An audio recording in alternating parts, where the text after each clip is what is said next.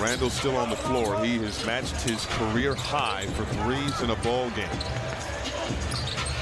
Eight three-pointers on the night. Rivers. He's played well in the second half. Threes. Game planning for one thing and having another thing happen and then not being able to adjust out of it. Well, at least the players weren't able to execute what the adjustment was going to be. And there's not really nothing you can do when you get a hot player like, like that. Trying to get Naz Reid on the court. And that's been the problem. McLaughlin bringing it up.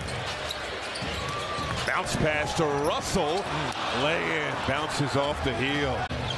You'd like to see a rim attack right there. There was a seam there for him to get through and get to the rim. Brunson. Just like that. Driving. Nowhere to go.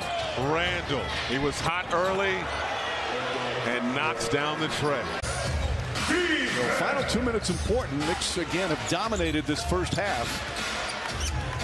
Yep, they've done whatever they want on the offense, especially Randle. Randle against Rivers.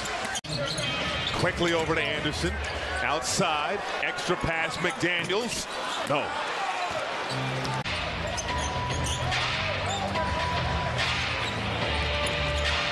Randle. Outside. Brunson trying a three, and he got it. Let's see if these teams can sustain this pace as Prince in and out on a jumper. Again, third game in four nights for both teams. And can they keep up this pace? Randle. Derrick Rose, 14th year. Towns. That won't fall. Rebound to Randle. Brunson. Randle, another look at a three, and he hits that one. Again, both these teams are going to give up looks. It's just a matter of who knocks them down.